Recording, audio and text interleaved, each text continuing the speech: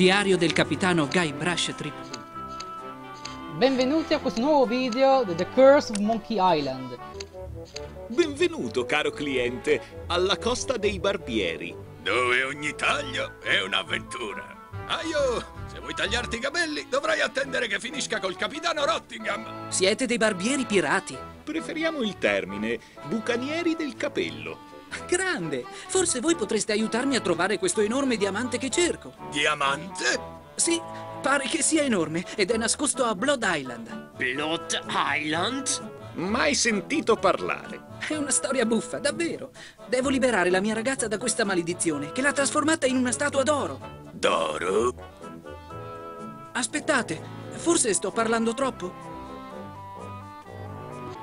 Oggi ascolteremo alcune delle storie piratesche dei tre bucanieri del capello. Adesso ascolteremo la storia di Edward Van Helgen. Ehi là, sono Guybrush Tripwood, temibile pirata. Naturalmente. Va bene, allora tu chi sei? Edward Van Helgen. Quel Van... Esatto, il mio nome è il più temuto da ogni pirata. Edward Van Helgen. Mitico! Scommetto che conosci un sacco di belle storie piratesche. No, non potrei. Coraggio, vorrei proprio sentire qualcosa. Correva l'anno 1675. Navigavamo alla ricerca del relitto del catarro tintinnante. Le nostre giornate scorrevano cantando del viaggio e delle ricchezze che avremmo trovato a destinazione. Dopo due mesi di navigazione ci accorgemmo che c'era qualcosa di molto strano. La vostra nave era stata colpita da una maledizione pirata? Non esattamente, ma eravamo in qualche modo maledetti. Udimmo una melodia straziante, una terribile canzone che non dimenticherò mai. La la la la la la la. La la la la la la la la. Ehi, è orecchiabile! Aio! Anche troppo orecchiabile per una ciurma di 50 uomini confinati su una nave a centinaia di miglia da terra. Nessuno riusciva a pensare ad altro e molti si gettarono in mare pur di non sentire più quel mormorio incessante. Solo otto di noi ritornarono. Il fatale viaggio dell'ossessivo compulsivo mi tormenterà per sempre. È arrivato il turno di Bill di raccontarci la sua storia. Sono Guybrush Tripwood, temibile pirata. Quindi, Quindi, piacere di conoscerti, signor... Ben. Bill? È un nome da pirata, Bill. Bill Tagliagole. Ah, capisco. Questo mette le cose sotto una nuova luce, no? Storie di pirati, ne sai? Ok, eccoti una storia. Iniziai come marinaio sullo Spilorcio Rabbioso, in partenza da Puerto Pollo. Il capitano era un esperto cacciatore di tesori, un veggente di qualche società segreta.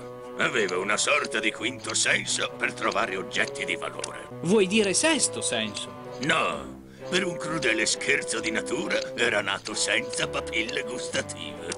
Ma gli altri sensi si acuirono, fornendogli una sorprendente abilità nella caccia.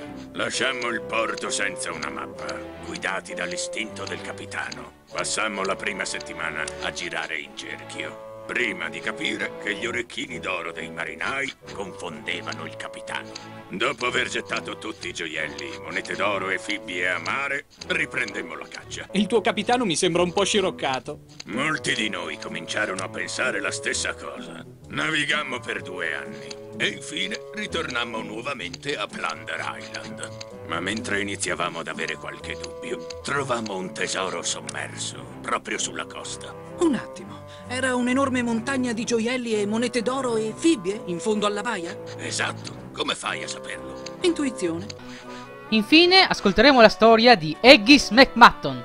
Salve a tutti, sono Guybrush Tripwood per servire lor signori temibili pirati. Piacere di conoscerti, Guybrush. Io sono Aegis McMutton, del clan McMutton. Come sei diventato un barbiere pirata?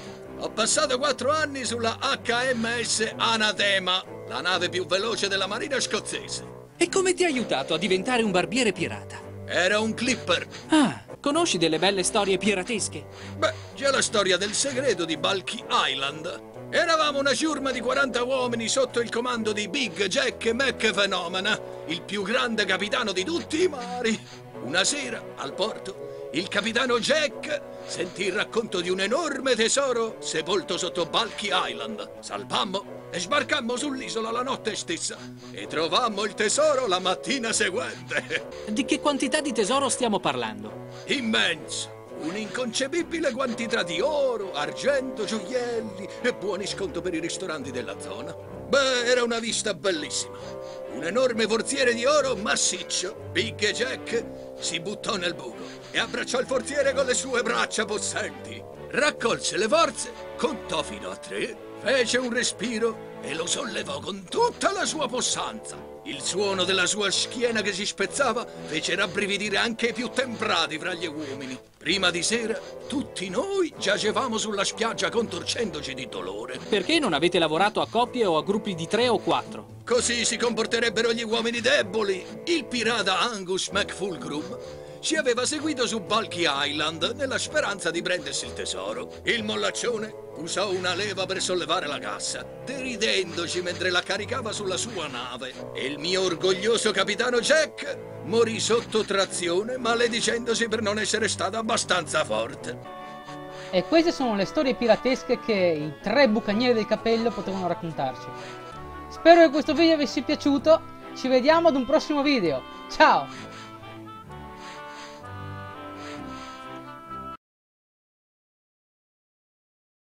Conosci altre storie di pirati? Vuoi sentire la storia di quando tagliai la gola al piccolo pirata irritante che continuava a farmi domande?